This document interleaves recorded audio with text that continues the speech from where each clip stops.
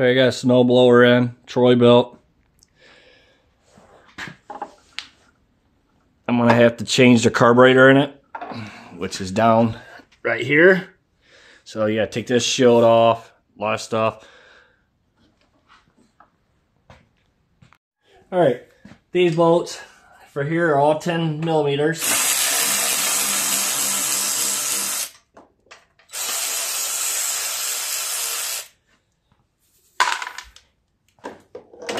There's one back here. Two of them back here. You gotta take off this plastic shield. What's that plastic shield is this you gotta take off. Which there's bolt on this side. And there's a bolt down there. So I'm gonna be taking them off there about 10 millimeters.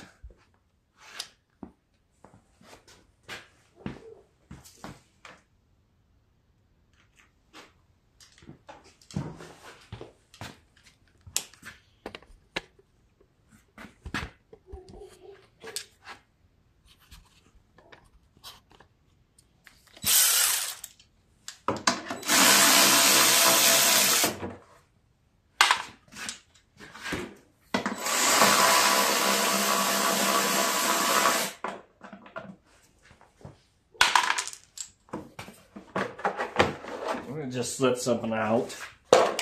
All that does is cover your belts and your pulleys.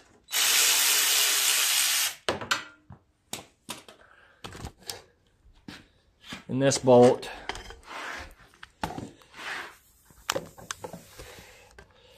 came from right here.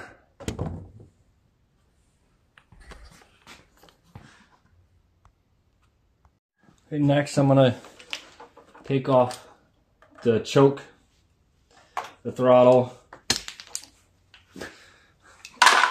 And there's two more bolts. That's right here. Take this off.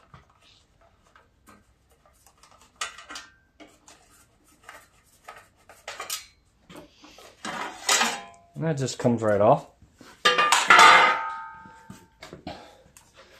Unhook your wires back here. Free switch. Unhook your primer hose.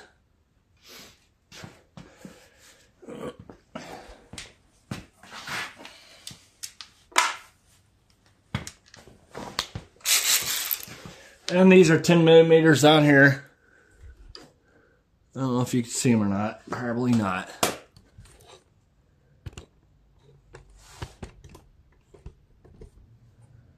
These two right here.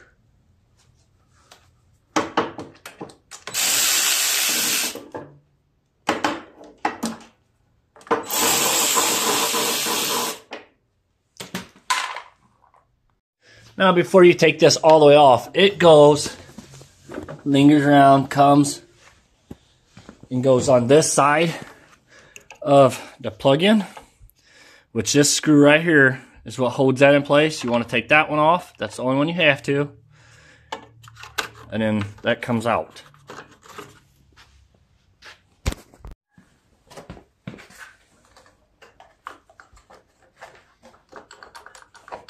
All right.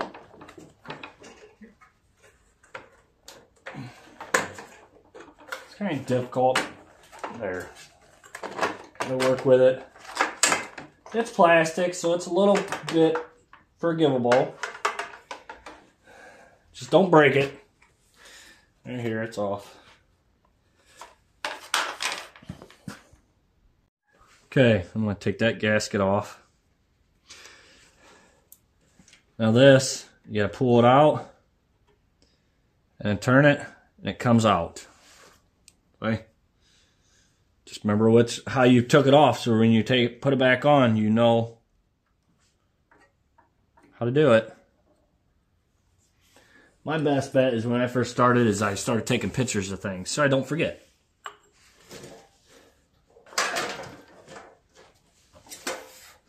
And this doesn't have a fuel shut off, so I have to get my my little plier deals that locks in to shut the fuel off so I can get the gas line off.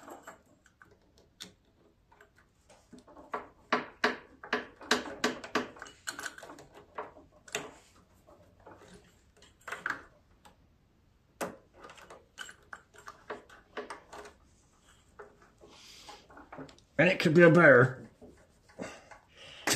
okay, that's off. And I do have the new carburetor. This one's all seized up. I can't move the bar flight. And she's all, all the needles and all that is all seized up. So that's why I ordered a new one. It's right here.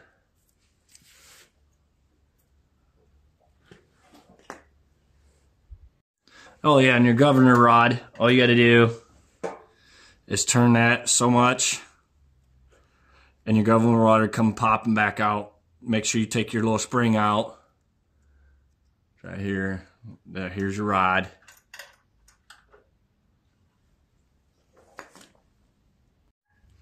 Okay, make sure you put your gasket on there to go in between the motor and the carburetor.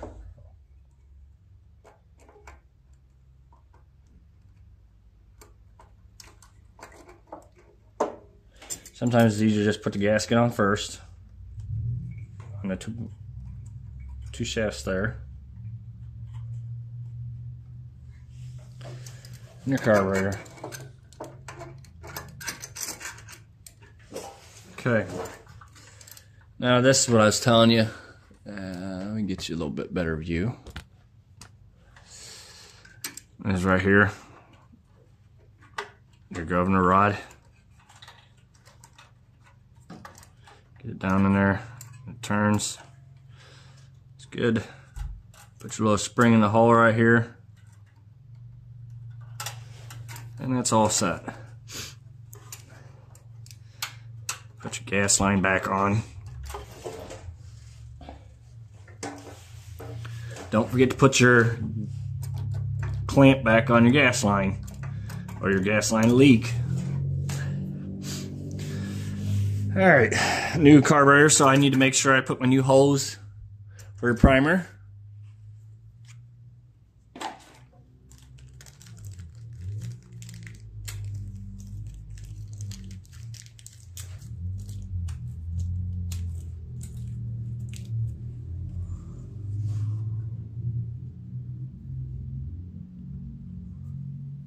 Make sure you put your clips on it too.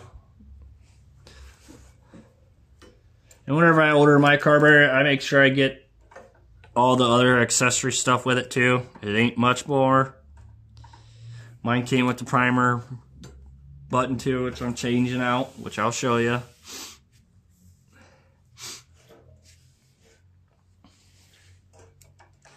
All right, that can be pushed back.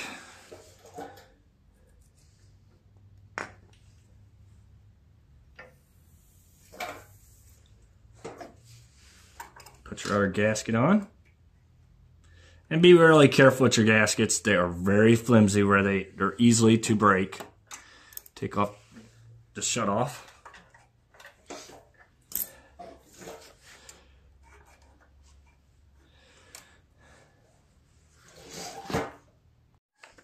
Okay.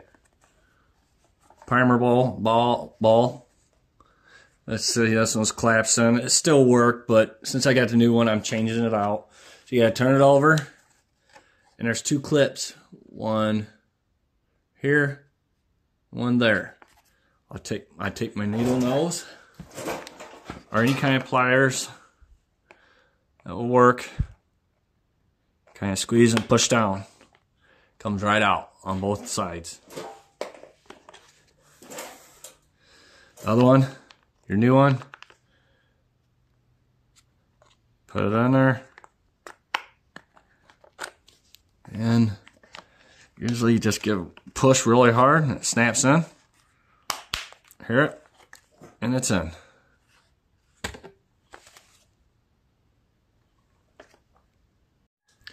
Okay, I'm gonna put the choke rod on.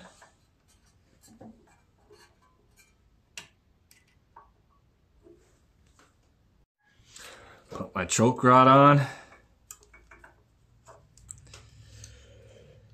And then that bracket.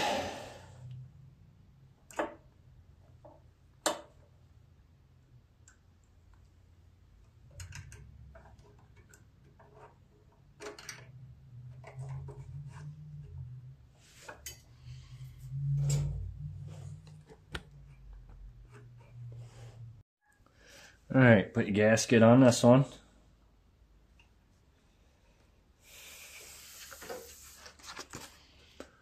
And put that plastic piece back in.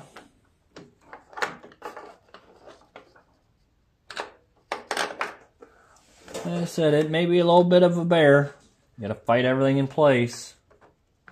Make sure you get your, there's a vacuum hose that's right here. Make sure it goes on the, on your plastic part. Kind of hard. You gotta really work with it.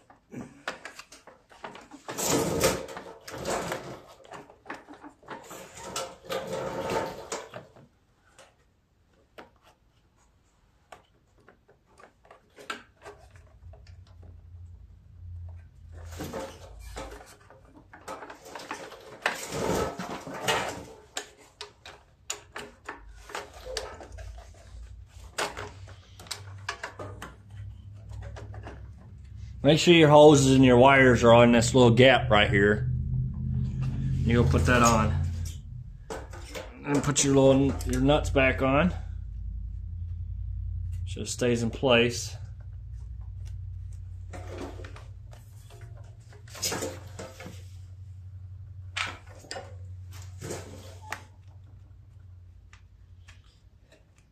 Make sure your choke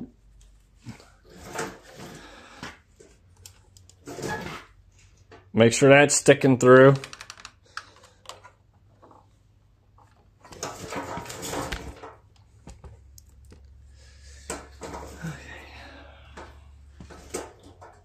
Now, if you know if your vacuum line's on there, which mine is,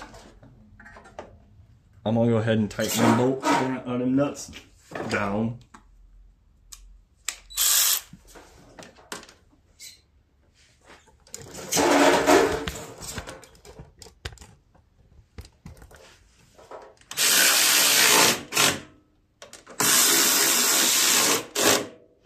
I strongly suggest you don't use impact when you're doing that. Everybody tells me I shouldn't, but I do. I know when to stop. I know my impact. All right, now your primer hose. Mine's a little long, so I'm gonna pre-cut it.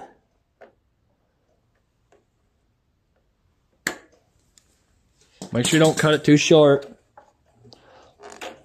It's too long, it's okay when you cut it, put it on the primer. And, and on our side, you got put all that back together, find it in place.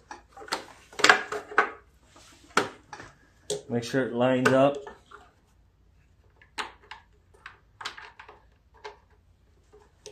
I missed.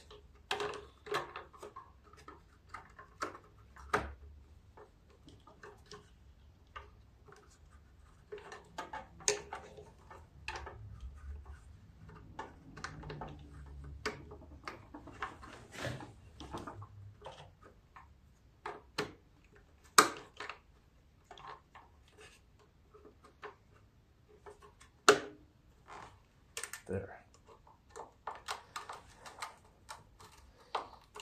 Make sure you line everything up before you tighten it up or anything.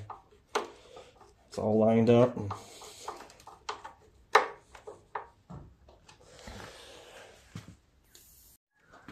Okay, I'm gonna put my throttle back on, which I gotta look, see which way that looks. Which way it goes on this which to see would face the two legs would face down.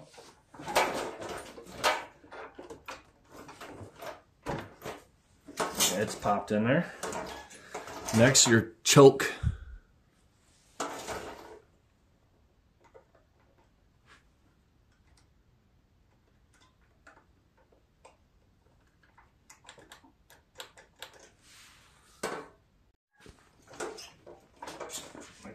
Push that in.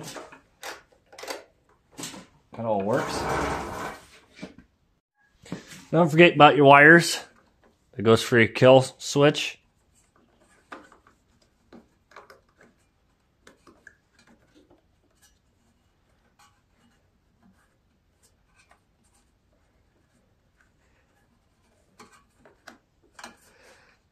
They're on. Okay, before going farther, I'm going to start, see if it'll start up. Usually three primes, put choke on.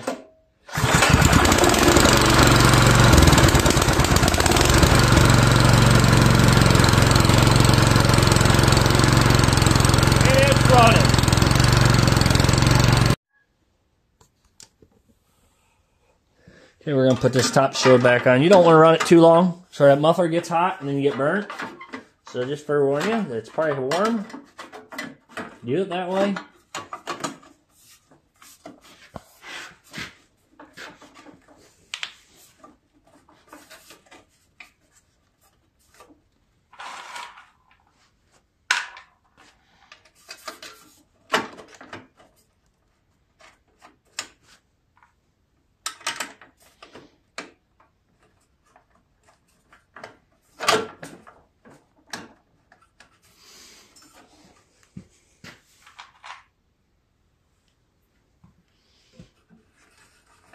Put them short ones in the wrong spot.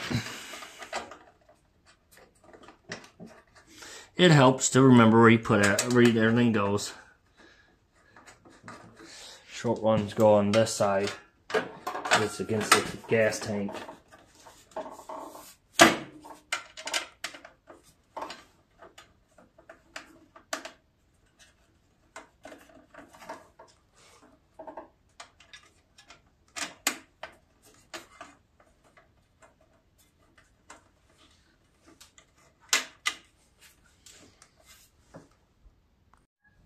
And I got a ratcheting wrench on this side. It's in all these are all tens.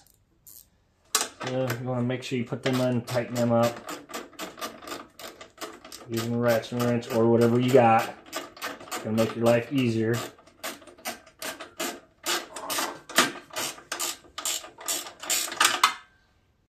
Okay, I'm gonna finish tightening these down.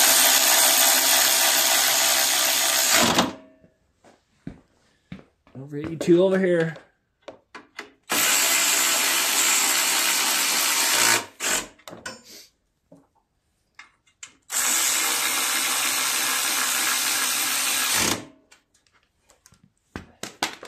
Next, that plastic shroud.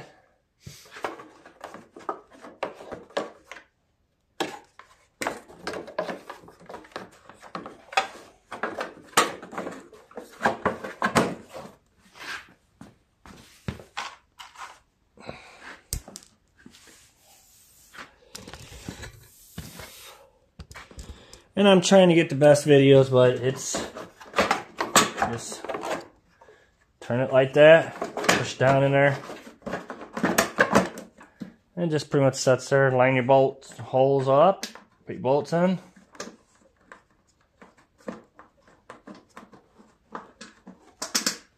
Both sides, and tighten them down.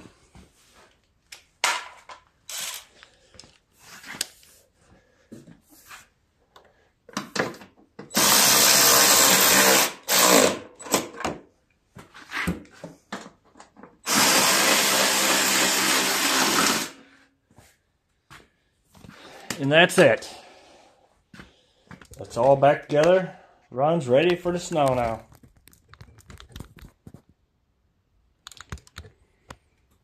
Thanks for watching.